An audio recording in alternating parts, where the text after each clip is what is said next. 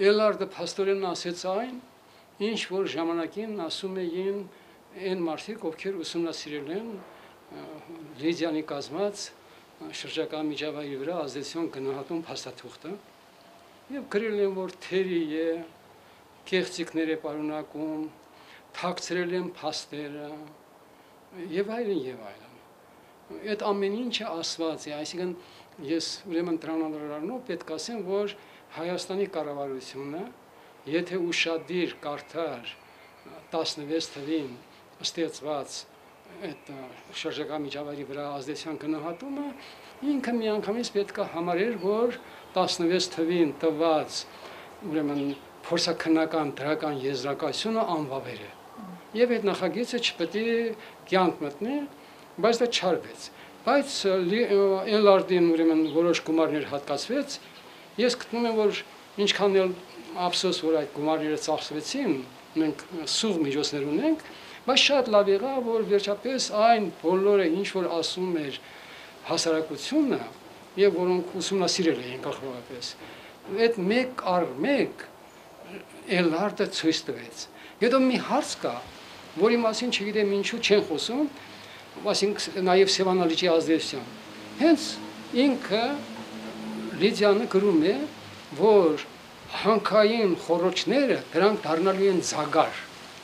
որտեղ ուրեմն տեղումների բանը կուտակվում են, որոնք հագենում են ծանր մետալներով, այնտեղ կա նաև ուրան, թորիում, հետո բարձվեց։ Եվ սա իջնում է ներքև եւ սնուցելու է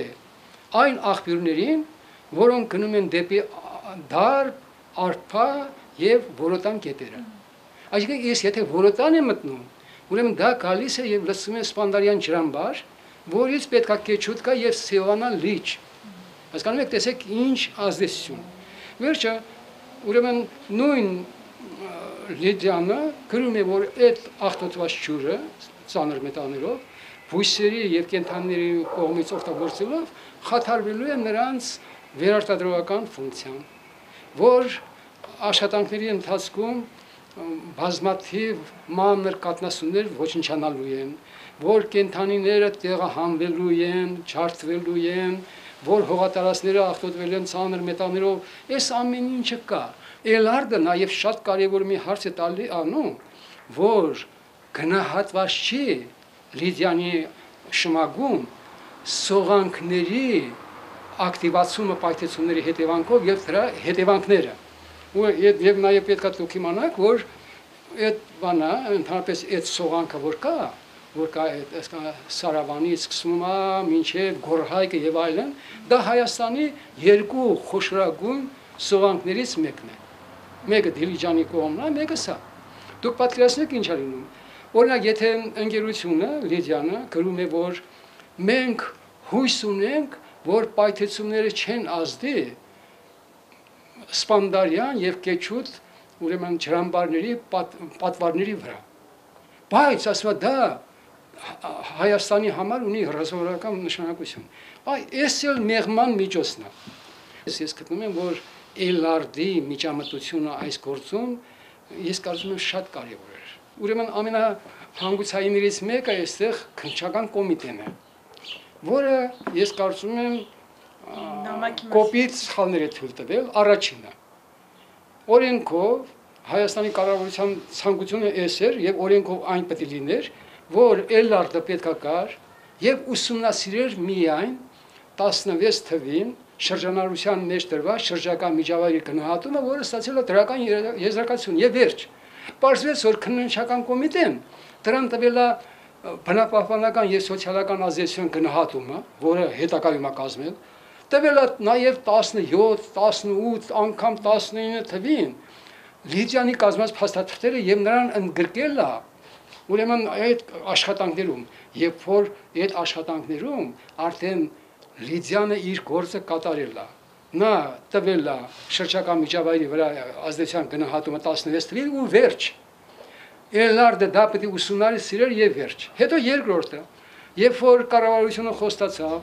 որ շուտով մենք եզրակացությունը կտանք Էլարդի, հանգարց գալիս է նորից 2-3 ամսով ցկցկվում է։ Եվ ինչա։ Այստեղ նույնպես այս քննարկման ժամանակ բարձվեց, որ քննչական կոմիտեն առանց վարչապետի ուրեմն իմացության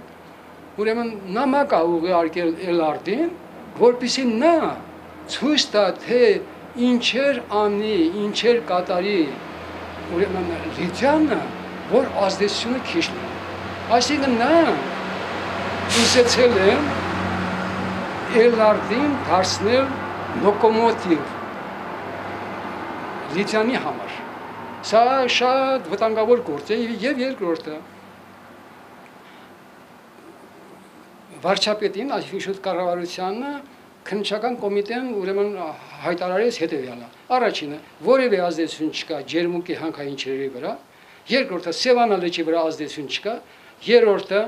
այդ գետերի ջրերի վրա եւ շրջակա միջավայրի վրա որևէ ազդեցություն չկա։ Հիմա այդ մեկ առ մեկ դա հերկվում է եւ Լիդիանի կազմած փաստաթղթերով բազում էջեր կարող եմ հենց հիմա բերել, թե նա ոնց է ցույց տալիս, թե ոնց պետք է ախտոտվեն դրանք, ինչ ծավալների, ինչքան պետք է կորուստ լինի ընդերքի ճրերի, մակերուսային ճրերի, քանի աղբյուրներ պետք է համակեն, ուրեմն սա ուրեմն խափեց կառավարությունը երկրորդը այդ գետերը լրիվ ախտոտվելու են եւ Սևանալիճը իսկ ինքը գրեց նույնիսկ ես հիշում եմ որ լրագրողներին ներկայացրեց Իվանյանը ասեց այստեղ գրված է որ հանքից որևէ քանակությամբ ախտոտված ջուր շրջակա միջավայր դուրս չի Պարոն Սարասարյան, ինչ է կարծում, այս տեսակոնֆերանսը կարող է այլ ուղությամբ տանել այն ընթացքը, որը որ պետք է լիներ հանքի շահագործման հետ կապված։ Ես գտնում եմ, որ դա շատ կարևոր էր, դա շատ կարևոր էր, քանի որ եւ կառավարության կազմը եւ վարչապետը եթե ասենք կառավարության մեջ ես չեմ ուզում շատերին վիրավորել, բարձա որ կառավարության կազմում գլխապես փորձագետների եւ ավելի ցածր պաշտոնյաները նստած են մարդիկ, ովքեր շատ լավ գիտեն ինչ ճանապարհով են, ուրեմն հանքերը եւ գլխավորապես ամուսարը, այսպես խարտախությամբ ուզեցել են բերել հարցնել հանգուցալ լուծման, այսինքն որ շահագործման։ Ուրեմն նրանք էլ ներկա եղան եւ վարչապետը հասկացավ դա ինչ է, քանի որ եթե մենք գրում էինք, ասենք շատերն էին գրում, անգամ հայտնի գիտնականները իրանց եզրակացություններ են տվել, դրանց ասում են, հա, դրանք կողմնակալ են։ Բայց ինձ թվում է շատ ուրեմն բավականին լույս փռվեց այս խնդրի վրա եւ գտնում եմ ընդհանրապես սա որպես շատ օգտակար, շատ դրական բան եւ վերջապես եթե անznապես էլ իմ կարծիքը ասեմ, ես չէի ուզում Նիկոլ Փաշինյանին հիշել օգոստոսի 19-ի կարգավիճակով։ Ինձ համար իրոք որ այդ օրը եղել է շատ ծանր օր։ Երբ որ երևում էր, որ ընդհանրապես իրան ինչ ինֆորմացիա են տվել։ Այսօրվա այդ քննարկմանը մենք ելի տեսնում ենք նույն Նիկոլ Փաշինյանին, որի մոտ բանականությունը, տրամաբանությունը ուրեմն հաղթում է։